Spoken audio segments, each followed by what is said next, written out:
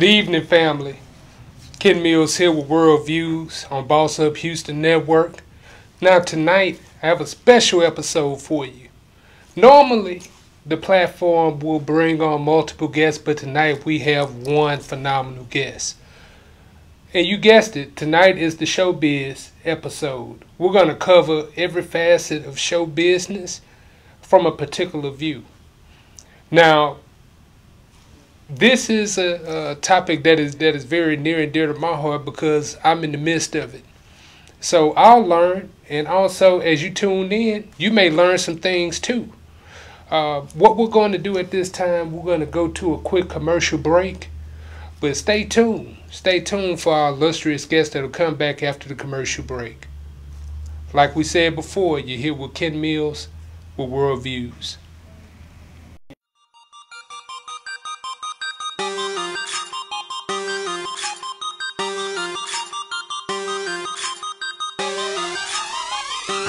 Boss up, Houston. You know why?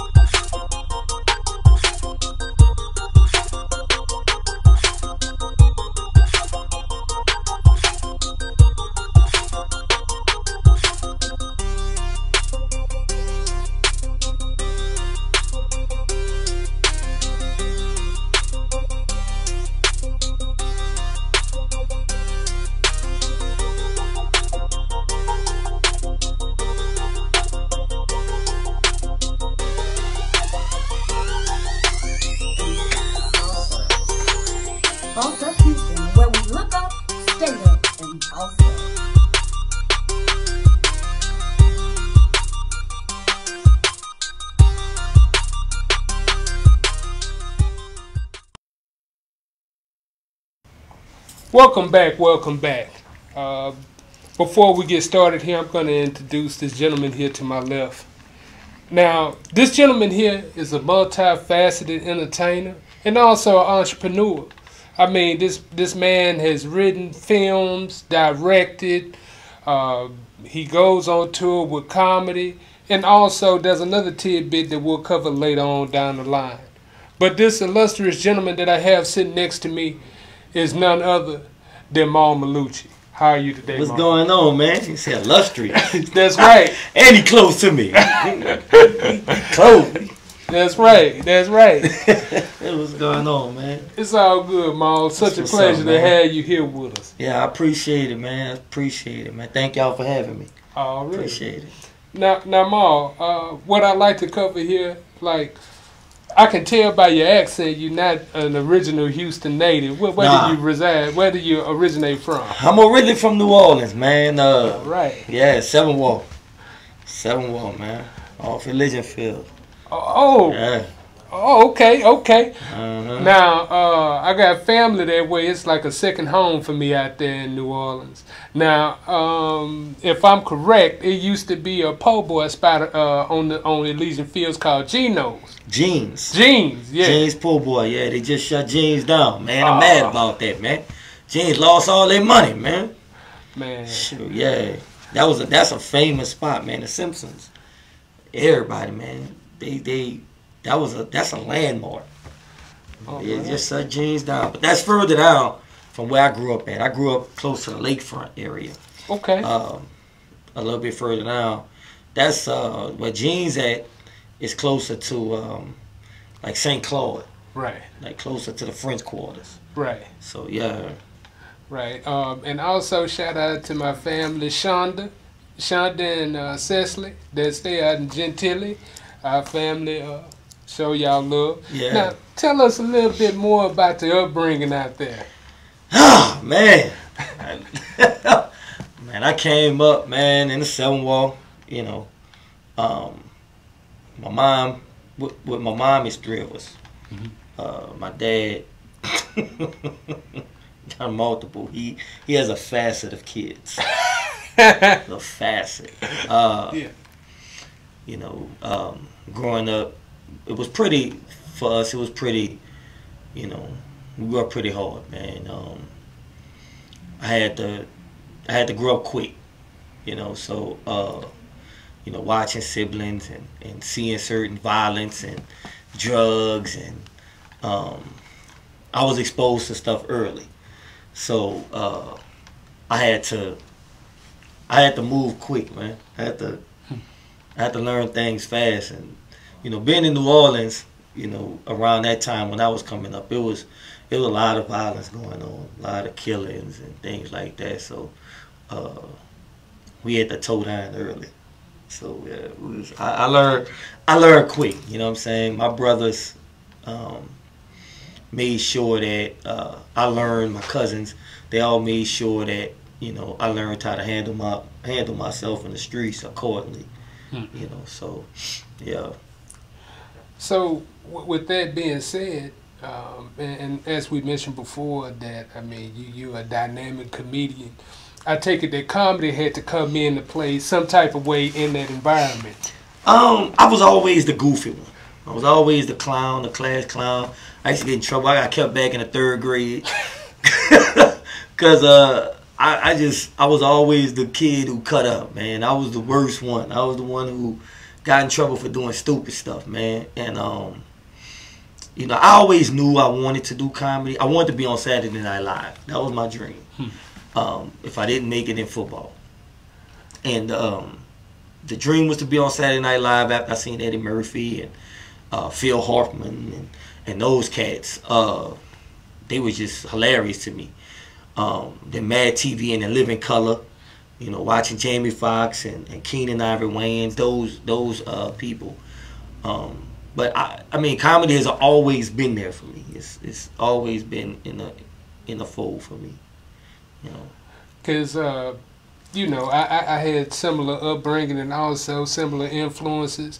But I tell you, uh, my favorite comedian when I was coming up uh, was either Eddie Murphy or Robin Harris. Yeah, that's that's two good ones. Yeah, I'm talking about like uh, I had to sneak and watch Delirious. I had to sneak and watch Raw. then it got to a point where my mom was just like, just go and watch with on watch Yeah. I was a Redd Foxx guy because my voice is raspy. Yeah. So it sounds like I'm a smoker, and I don't even smoke. I sound like a, I sound like a seventy year old smoker.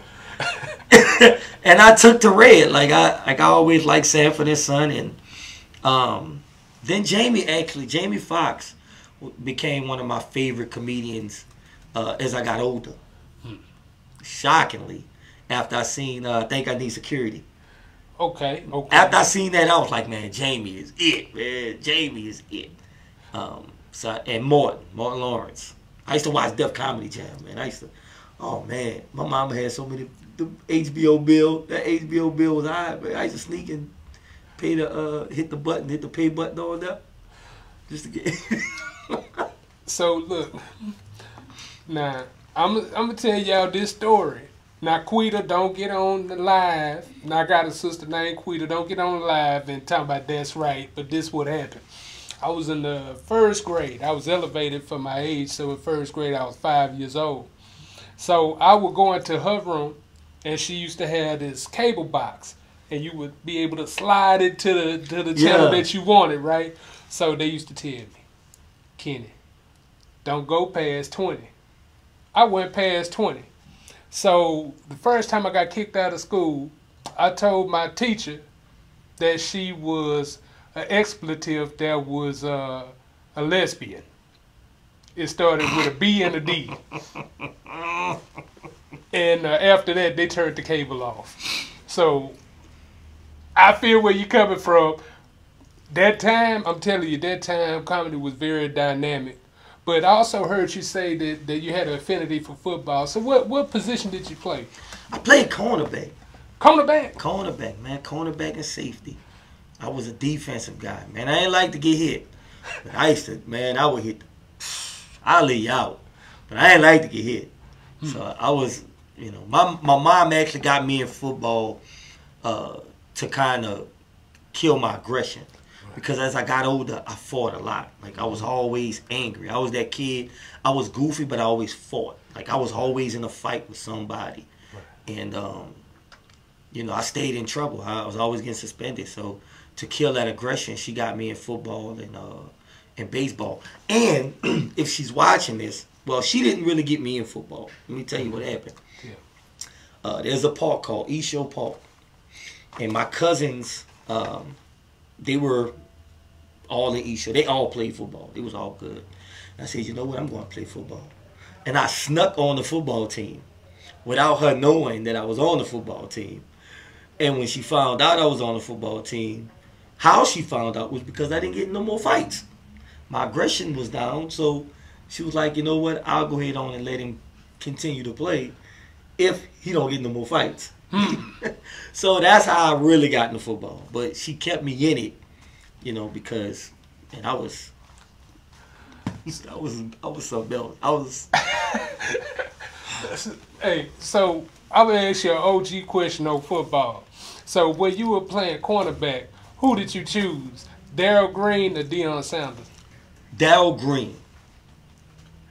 Huh. I used to like Darrell because Darrell Green was fast, lightning fast. I seen Darrell Green gun a running back down. Dude was on this side of the field. Darrell Green was on this side. Darrell Green came all the way down and gunned him down by the end zone. Mm-hmm. And I thought that that was the most awesome thing I ever seen. Deion was Deion was Deion. That was prime time. Right. But Darrell Green was just he was that man. So I tell you this story. I only lasted in football probably about three weeks. Uh, my dad and them, they always said because of my size, they wanted me to play football. So when I was in middle school, they said, okay, go out for the team. So I went out for the team, but I never got no playing time. so uh, what ended up happening, I got into a fight.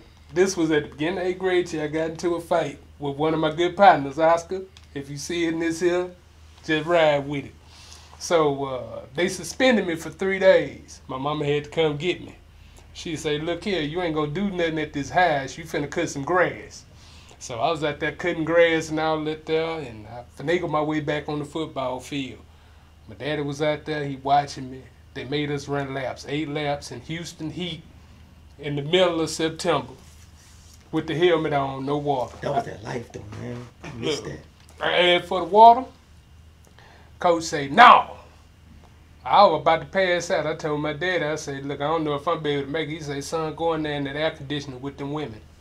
and go be a player. And that's what I did. I miss that football, man. Yeah. I miss it. I really do. Yeah. But uh, everybody, you know, we, we'll come back with a little bit more after this next small commercial break. But you're now here kicking it with World Views with Ken Mills, Mal Mallucci, Boss Up Houston Network. We'll be right back with you. Come get your questions answered. We'll see you then. And remember,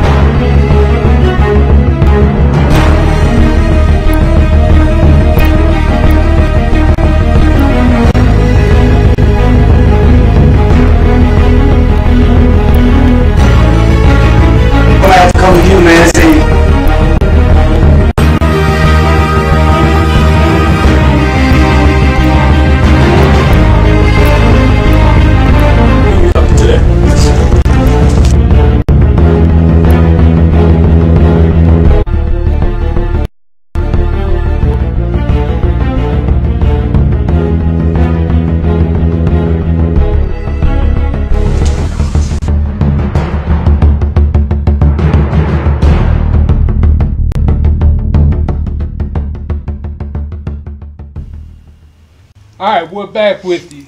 Uh, back here with Mom Mallucci. So, all right, Mom. So we we've already went through the uh, upbringing. Now, can you kind of tell us how you started your comedic journey? Uh, my cousin, man, my cousin Ryan. Shout out to Ryan. Um, I called him up one day. I, I was watching Steve Harvey do some comedy, and I called him up. I said, Ryan, I want to do comedy. And my cousin was like, What? I said, Yeah, I want to do comedy. He said, Bro, it's different than just being out here, you know, cutting up. I said, Man, I want to do it. And um, he sent me to a guy named Red Bean in New Orleans. Red Bean runs a spot. It's the one of the longest running comedy spots in New Orleans. Um, it's in um, it's downtown or whatever. And I went to Red Bean. I said, "Hey, look, I'm a new comic. I want to get on." Red Bean sent put me on stage at three o'clock in the morning. I rocked it. I actually did good. I went the next the next week and bombed. And Bean was like, "Yeah, you bombed. Just keep coming back." And I kept going back, and from there I linked up with Mark Caesar.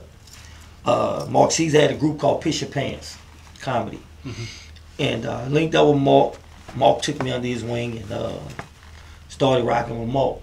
Started rocking with Piss Your Pants Comedy. Did a couple skits with them. Um, Mario P.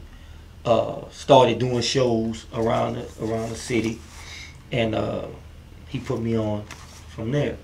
Okay. And um, from there, I end up, you know, branching off and, and moving here. Okay. And um, when I moved here, that's when everything really started to take off for me. Because I ended up getting with Jody Summers. We did some stuff. And then um, I started getting calls for doing uh, shows on the road, you know, um, touring and stuff like that. So uh, I end up going and do that. Like Eddie Griffin had um, had something in Vegas. He had he was doing a residency in Vegas, and uh, his people reached out to me, and uh, I went out there, and um, I worked with him in Vegas uh, while he was doing his residency. So um, from there, it's just been Joe Torre, Guy Torre, been rolling after that. You know what I'm saying? So yeah, man. So, what was one of the defining moment, moments on their journey where you felt that you saw that you were getting traction? Uh,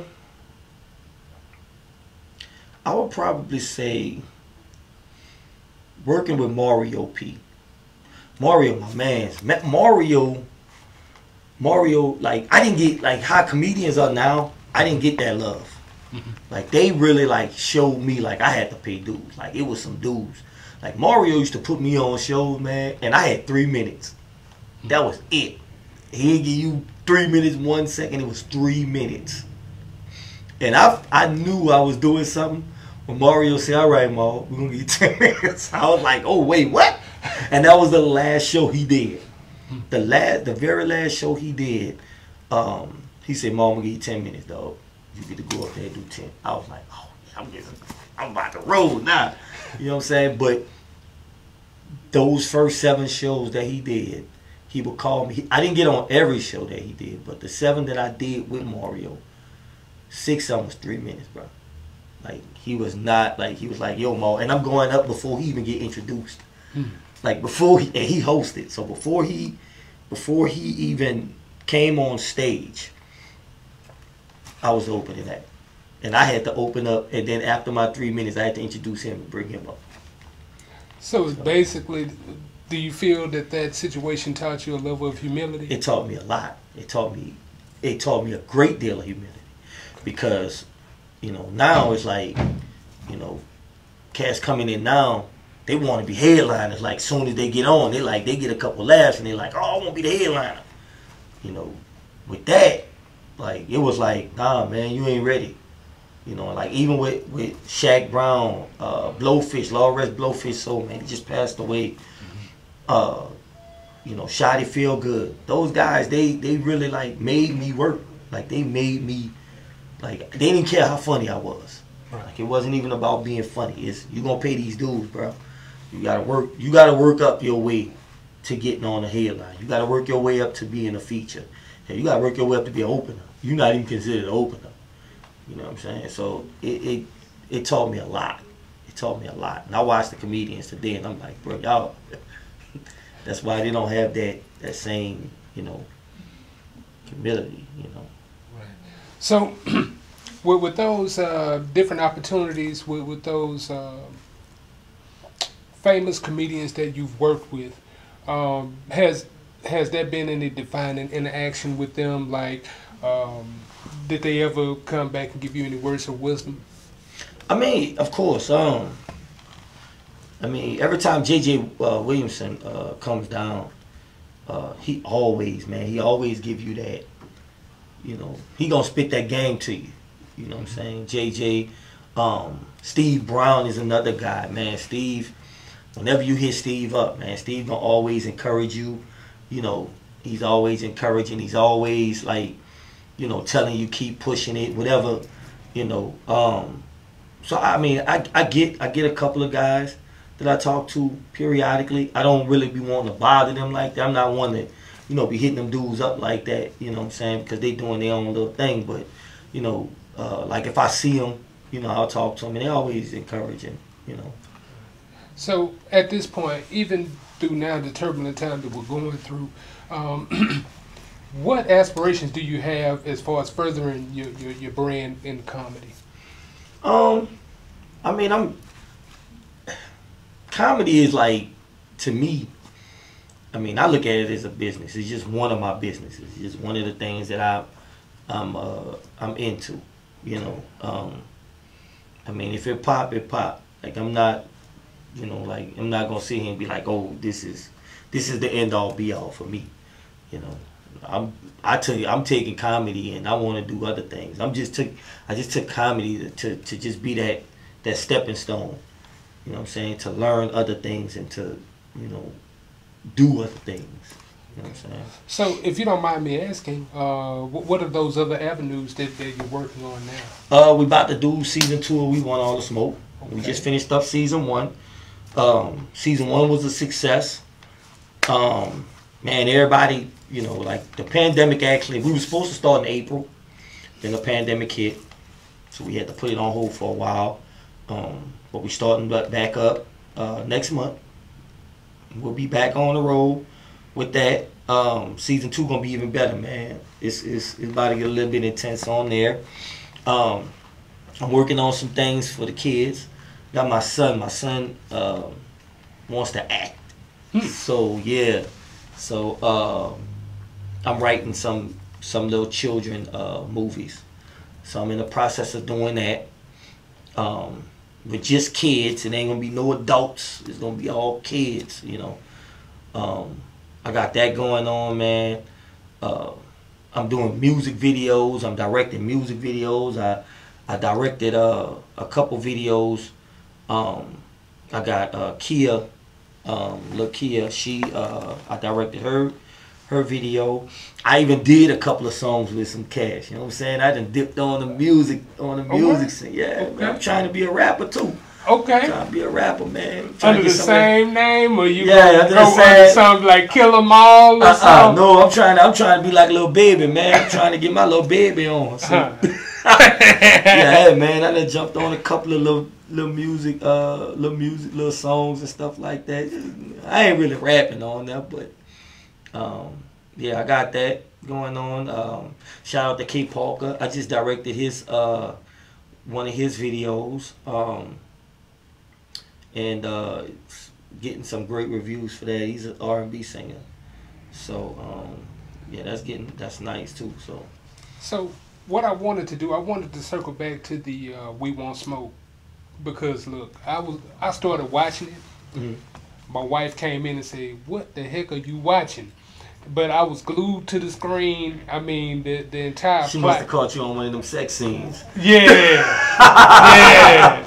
Look, and she caught me on Big Baby crying on there. Big Baby was Oh, Big. Baby Green. Yeah, yeah. my brother. so, uh, you know, one thing that I noticed with the We Won't Smoke uh, series is that you have a lot of uh, locally known comedians uh, in it, as well as artists. Yeah. Um, and I just wanted to understand, you know, what was your perspective when you began to write uh, this series and bring it to to, to actuality? Well, what happened was it's it's actually based off of a song that uh, two of the stars and uh, they also are the producers. They are also executive producers as well of the show. Um, it's based off of their song.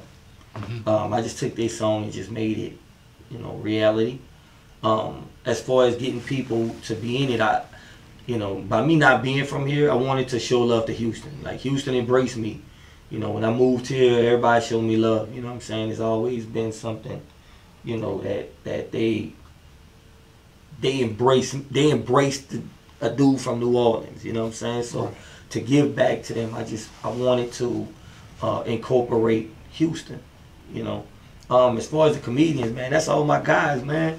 So I gotta put Houston comedians in there because I gotta have, you know, gotta give them some love too. You know, um, it's a lot of music. It's a lot of artists, music artists is in there.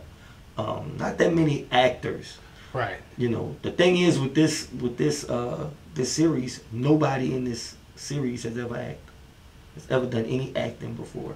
You could have fooled me. Yeah. You could have fooled me because when I looked at it, uh, see myself, I have an affinity to look at uh, the more urban films like Money and Violence, The Wire, things like that. I'm glued into it. Right. So when I saw it, it fell along in that same vein, and I was just glued to it again.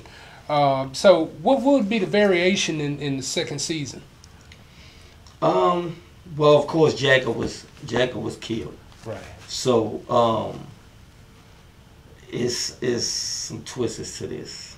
Uh, Mal still out there doing what he doing. Hmm. Yeah. Running out of people houses, you know what I'm saying? Um, Cheeks, uh, James Cheeks, comedian as well. Uh, he playing the officer on there. Um, he uh, is is gunning for Mal. Mal is, you know, sleeping with his wife. Um, so that's still going on. Uh, we added Patrick uh, Patrick Edie. I, I, I want to Eddie or Edie. I want to say his name right. He's uh, the chief of police now. Okay. So we added him in there. Big Baby Green still there. Um, we're gonna have more um, more additions, you know, to the to the series because it's it's about to get real, man. It's about to get real. I can tell. Shout out to JT Too Funny. That's uh, the the comedian that Yeah. plays uh, uh, James Cheeks. yeah, And and the funny thing about it, when I saw it, it's so far away from his demeanor that I, that it was believable. bruh, like when the part when he was aggressive, Yes. that that's not even him. Like he was like, "Hey, I gotta really do this." As big as he is, Right. man, he's like, "I gotta really do this." I'm like, "Yeah, bro, you gotta." Well, I don't want to hit you too hard, man. Hit me. I'm like, "Hit me, man." He's like, "Okay," and like he tackled me, and it was like he didn't want to hit me too hard Right. because he's not that dude. He's not that kind of dude, you know.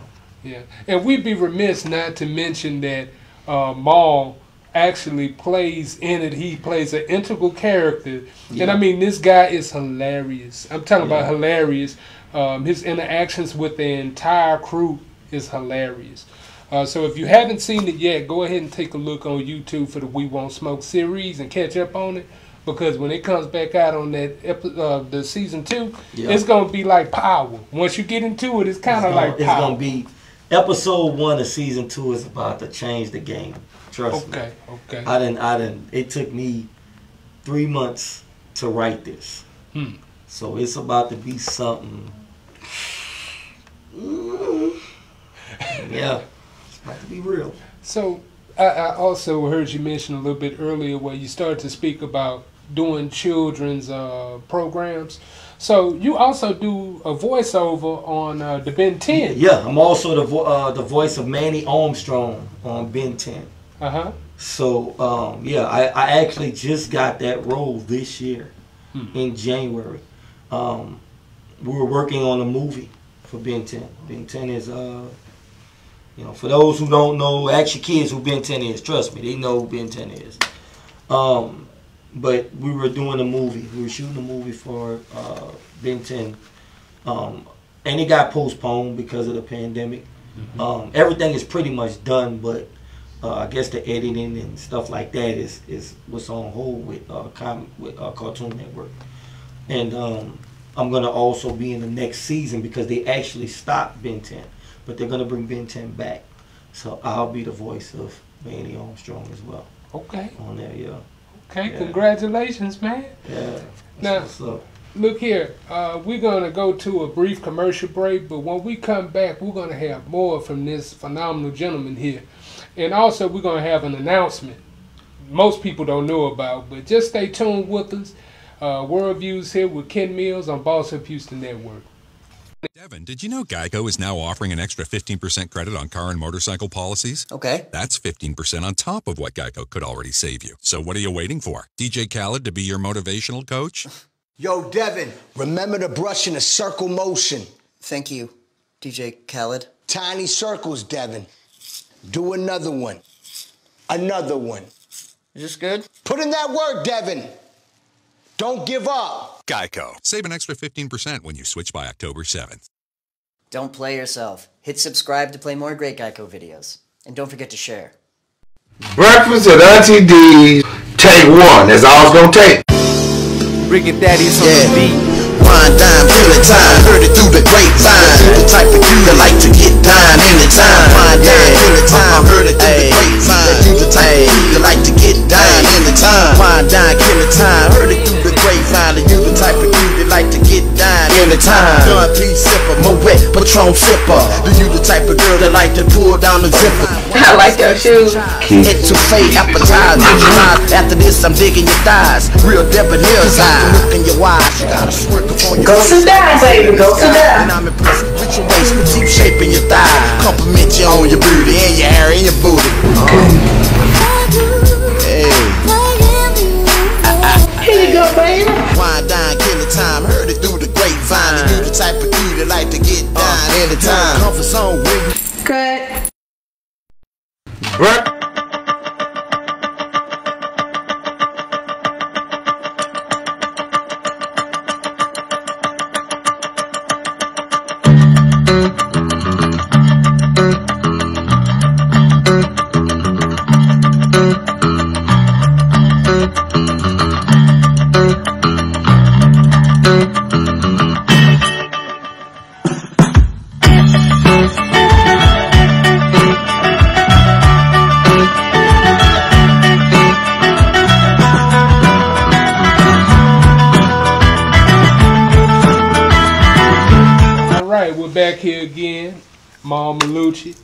Now, Mal, um, what, before we left, we talked about the Ben 10 uh, series that you just signed back on to. Um, has there been any obstacles as you've been going through this journey and also inclusion into film? Um, doing right now, I think it's just the pandemic. Um, I mean, I, I, I don't have any. Like, I, I try not to look at things as an obstacle. Okay. You know, um, if it's something that's in my way, man, I, I try to, I'll, I'll go around it. You know, nothing gonna stop me from getting through that door. You know what I'm saying? Something in the, in the something in the way of that door, man. It gotta move. You know, so that's just that's just how I've always been. That's right. And you know, uh, from what I can notice from the outside looking in, you have to have a high level of organization to carry all these different hats that you have. Yeah. Uh, like, kind of take us through your day, like when you start up, and how you touch these different things. Man, uh, my days be hectic, man, cause I, I don't get sleep. Like I don't, I, I really don't sleep. Like you look at my eyes now, my eyes, I don't sleep. Like I, I'll be yawning and them like you tired. I'm like nah, cause I'm, you know, I'm always doing something. Right. I'm always trying to do something. I'll come home from doing work and get right back into work. You know, um, I'll I'll do my scripts. I'll write my scripts down, um, and I'm pretty I'm I'm a pretty organized guy. Like I write them first before I even start typing. So uh, I do that. I do phone calls. I'll be on the phone doing a conference call and doing. So Now,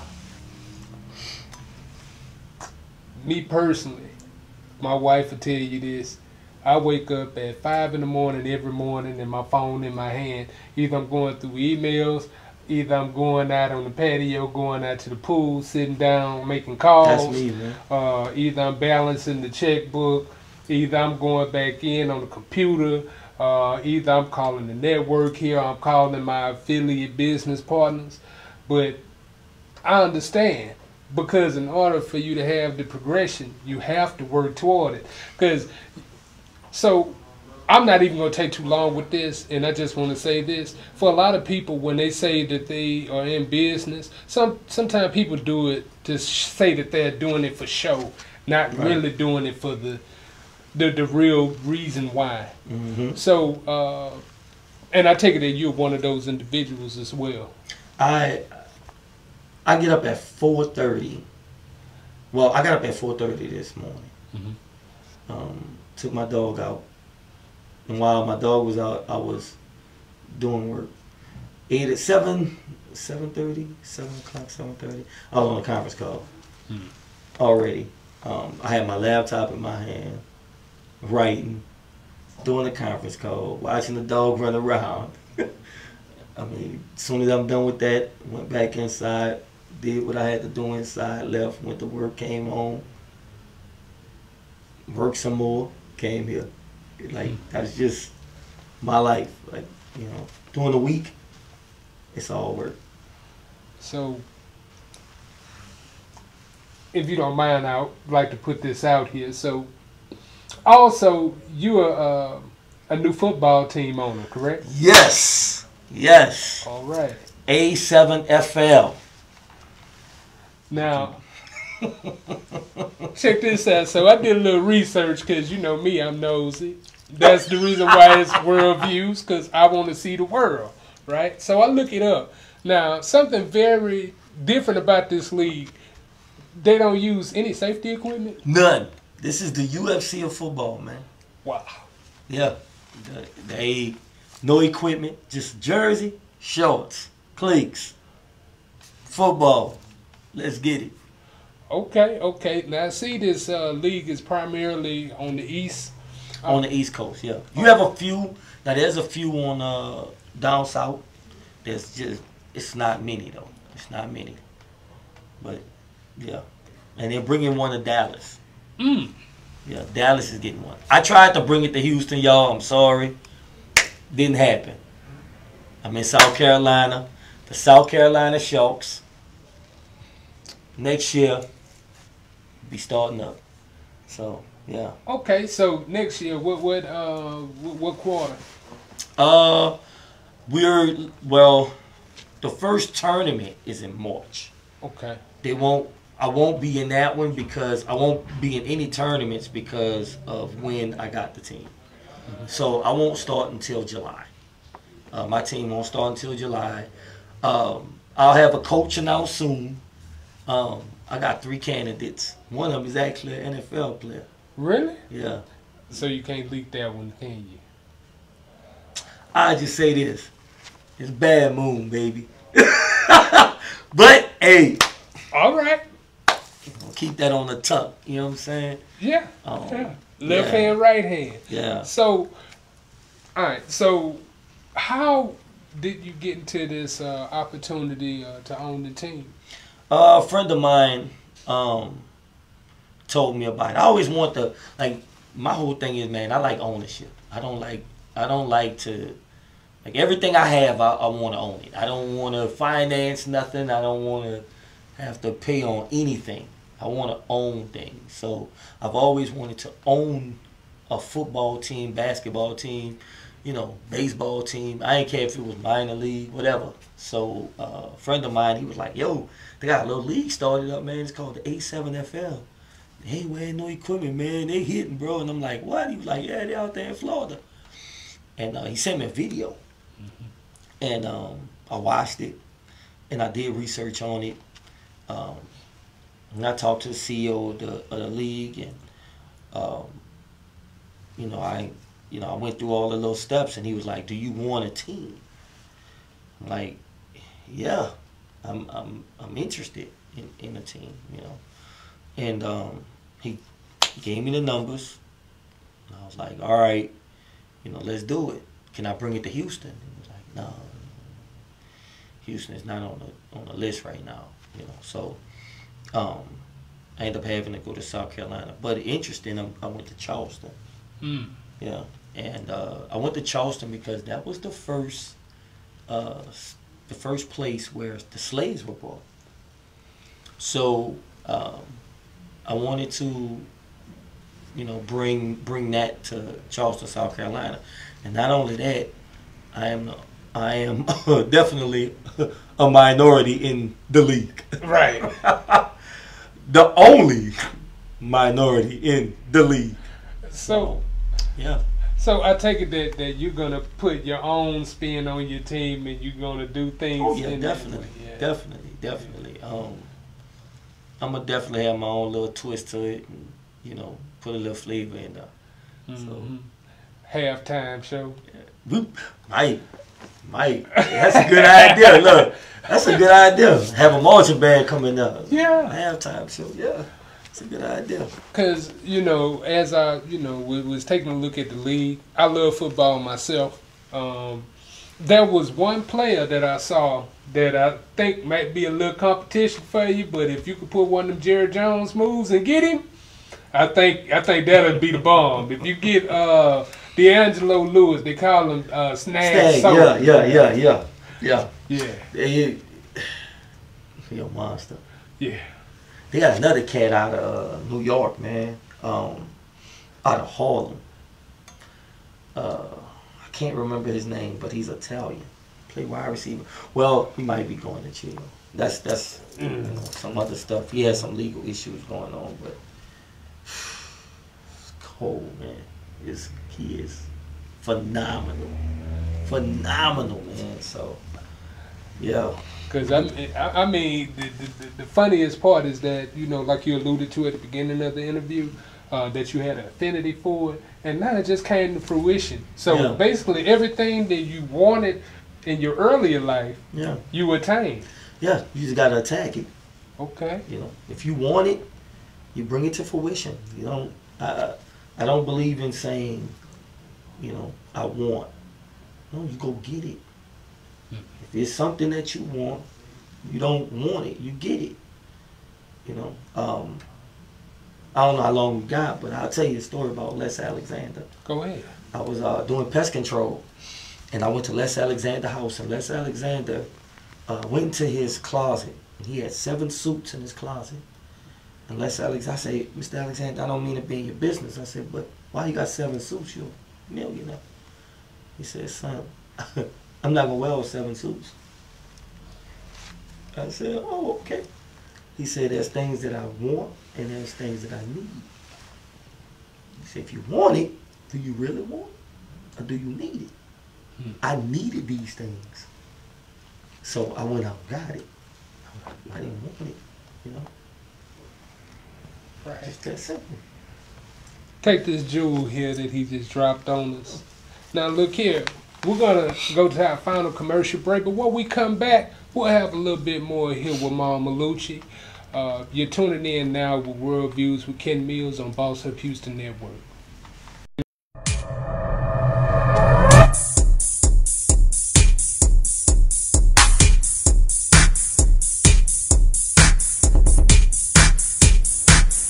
Wanna be a boss? You're watching Boss Up Houston Network. It's Boss Up Houston, where we look up, stay up, and boss up.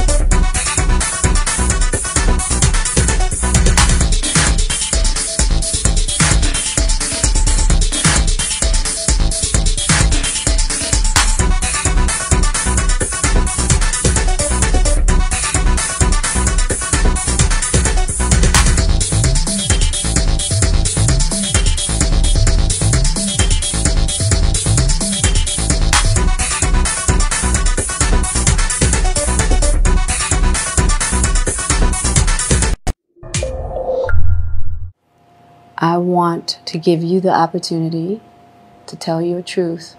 So let's start with what happened. This is Red Table Talk.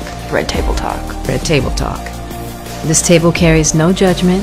I suffered trauma at an early age. This table brings out your truth.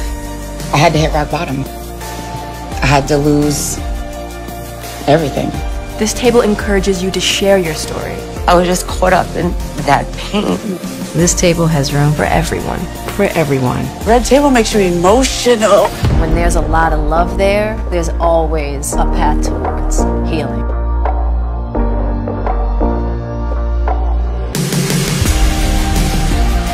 Intimate, provocative, unfiltered. Join us. Take a seat at the table. Only on Facebook Watch.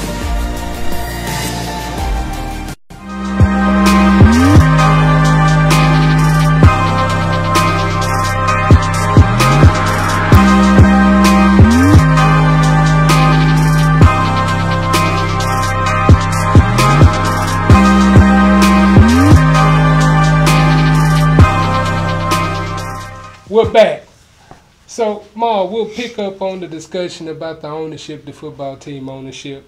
So, like right now, I, I know you're in Houston, you're stationed in Houston now, but how do you envision that your your, your journey is going to be going back and forth from uh, South Carolina? It shouldn't, it's not gonna be bad. I mean, I'm gonna fly out there, and you know, a lot of owners don't live, you know, where the team is at. So, Hmm. you know, I I rack up some miles. So, but uh, yeah, I'll fly out there when the season starts and probably stay out there for a little while. Um, give me a little place out there and just hang out for a little while, watch my team and stuff like that. Once the season get kicked off, um, before well before the season get kicked off, I'm gonna be out there more often than than not because I'm gonna have to get everything to situated with the team. So, um, I'll be out there and then I'll come home. Houston gonna be my home regardless. I ain't like I ain't leaving Houston. I ain't leaving here, man. I What don't is care. it about age time? no tax. no state tax, baby. Uh-huh. Shit. I mean, but I love Houston, man. I love Houston, man. I love the people, man. The way I was, the way I was embraced here, you know. After leaving New Orleans, I don't think I could get that anywhere else, man. I done been to California, I done been to New York, you know. I didn't, I didn't, you know, stayed in Florida for a little while. I stayed in Atlanta for a little while. We talked about Oh, that yeah. you know, ain't not, it, it was it was never, you know what I'm saying, embrace being embraced like here, man. You it's different. You know what I'm saying? It was different for me, so uh I'm never leaving here. Never. I don't care. I'll, I'll buy a house somewhere else and vacate there, but this is gonna be my primary home. My primary home.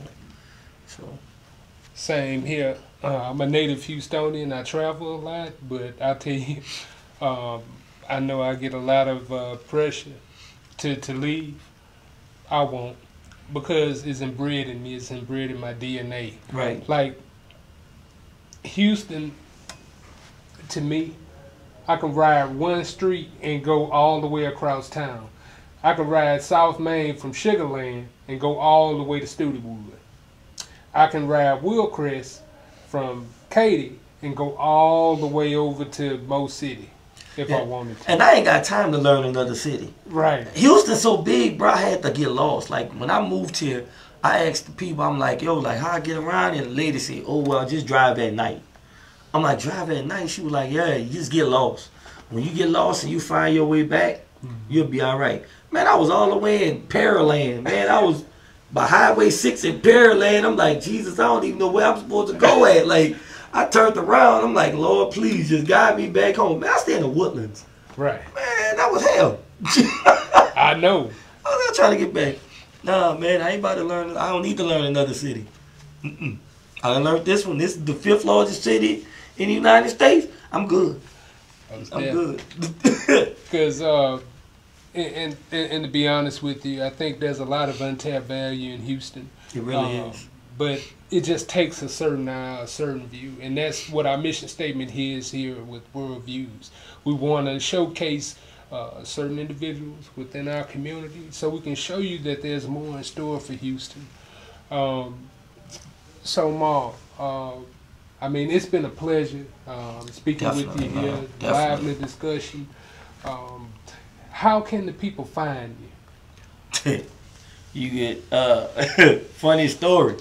You can find me in a local gas station because I'm always in the gas station using the restrooms all around Houston.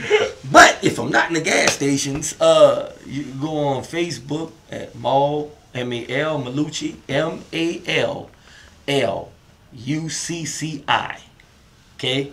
Uh, don't ask me why the name Mallucci. It's a long story.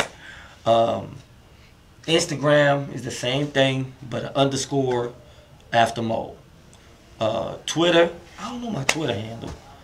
Um, it's Mo Mallucci. I think. I think. Could be wrong. Cause I did Twitter way before, but yeah, just hit Mo Mallucci. I think it's I think it's under there. I'm not quite sure. Right. So, what uh, do you have any uh, events upcoming or anything that people need to take a look out for? Uh, just tune in to the first season of We Want All the Smoke. Um, I mean, I, I got a bunch of stuff coming up, but it's like gonna be later on. I don't really have nothing coming up this quite right now, um, because I'm so I'm moving around so much.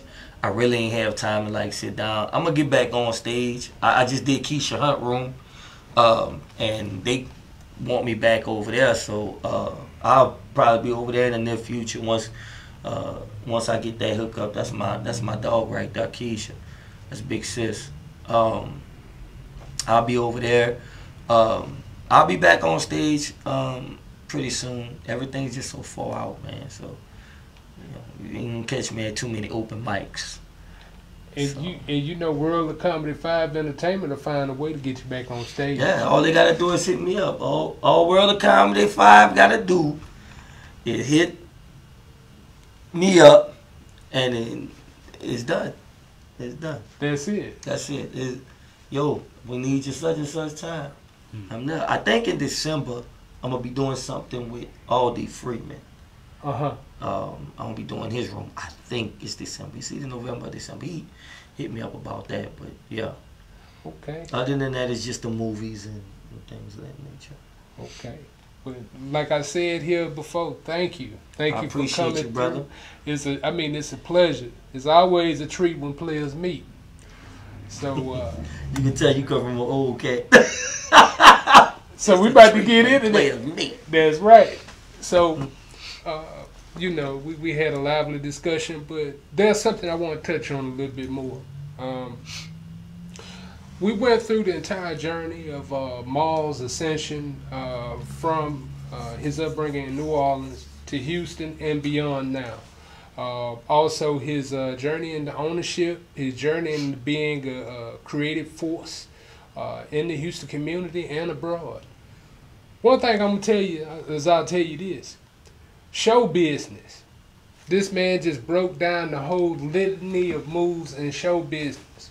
A lot of people aspire to be something. They aspire to be a singer, they aspire to be a rapper, some may aspire to be a comedian or actor. But what we learned here today is that it takes hard work, organization, faith, and a little bit of blessing. You can't go about things willy nilly. You can't think that somebody just gonna give you something. Nobody ever gonna give you anything. And also don't think that look, just cause I'm good as a comedian that I'm gonna rest on my laurels with that. Cause guess what? If you don't diversify, if you don't have different lanes that you can move into, your money gonna dry up and people gonna say you washed up. Mm-hmm. My whole primary objective here is to show people that we can diversify. We can find different lanes because we all have different talents. When God was in the blessing business, when He preordained what we had when we came out of the womb, He said, This person gonna be this, this person gonna be that. But it's up to you to live life and find out what your true blessing is. I don't call it a gift because it's a blessing because it came from the Most High. And treat it that way. Don't disrespect it. Also, with show business, the reason why I have so many of my guests, and especially this gentleman here, is because we do the right thing. We come and we approach people with respect, with honor. We treat others as we want to be treated. In order for you to win, you can't move grimy. If you move grimy, that's going to be your exit out of the business because nobody wants bad energy around them. We try to keep a positive vibe and treat, try to keep with the progression, keep it going. Uh, like an older person told me, everybody not gonna be able to fit in the car. With show business, the people who are the most dedicated gonna fit in that car and gonna make it to the promised land. With that being said, I'd like for you to open your minds, open your hearts, stay safe. Next week, stay tuned. We had an inspiration episode, and we're gonna have some entertainment. I want y'all to stay tuned and watch out for that. But it's Ken Mills here with World Views on Boss Up Houston Network. Enjoy the rest of your nights. We love you.